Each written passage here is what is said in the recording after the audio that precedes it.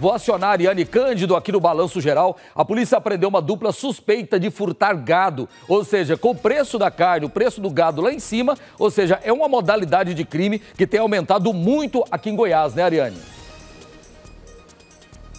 Exatamente, Aloares. Isso para o comércio clandestino, né? Nós estamos aqui na Delegacia Estadual de Repressão a Crimes Rurais. Esse roubo, esse furto, né, na verdade, foi em janeiro deste ano. E depois que essas informações chegaram, né, a a Polícia Civil começou uma investigação que já está na segunda fase, é uma operação que já está na segunda fase. Desta vez foram quatro mandados de prisão e quatro mandados de busca e apreensão também. Duas pessoas presas e tem dois foragidos. Quem vai explicar melhor para a gente em que como que está essa fase, como que está essas buscas né, por, esses, por esses bandidos é o delegado responsável por esta investigação, Álvares Lins. Boa tarde, delegado. É, vocês já estão na segunda fase da operação, né? O que, que já foi levantado até agora?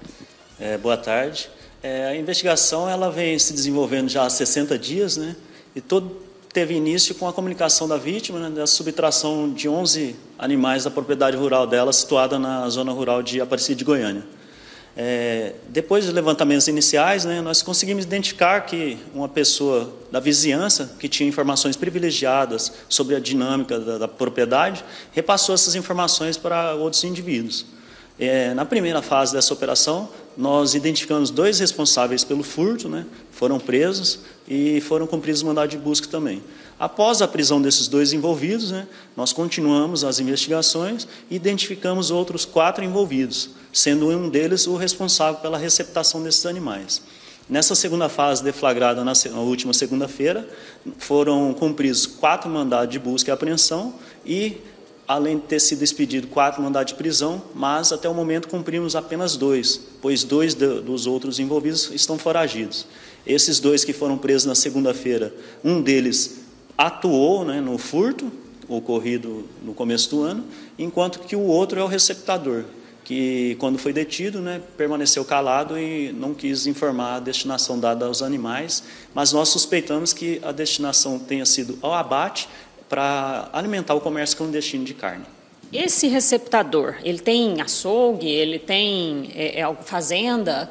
Só traça o perfil dele para gente. Nós, ele, nós identificamos que ele tem duas propriedades rurais, né, tudo na região metropolitana, duas chácaras, né, é, fizemos buscas nessas duas chácaras, não localizamos animais, mas ele já é conhecido aqui da Delegacia de Crimes Rurais, pois ele já foi preso, autuado outras vezes por, pelos mesmos crimes, né, por receptação de gado furtado.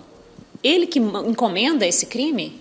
É, de certa forma, ele fomenta, né, porque a pessoa... A, não praticaria o furto se não tivesse uma destinação para esses animais. Né? Então, de certa forma, nós percebemos que ele já tinha contato com essas pessoas, as pessoas encontraram um local propício para praticar o furto, foram lá praticar o furto e imediatamente já repassaram é, para ele mediante é, pagamento de valores em dinheiro. Como que fica a partir de agora? É, nós vamos dar continuidade à investigação, né? temos até sexta-feira para concluir o inquérito, remeter para o judiciário. É, a equipe do cartório 2 aqui do Crimes Rurais ainda está em diligência na rua para efetuar a prisão desses dois envolvidos, né? E nós pretendemos de eh, até sexta-feira concluir a investigação e de certa forma dar uma resposta ao produtor rural.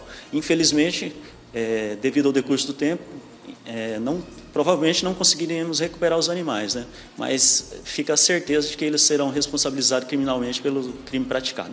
Eu agradeço muito a sua participação, Aloares, é com você.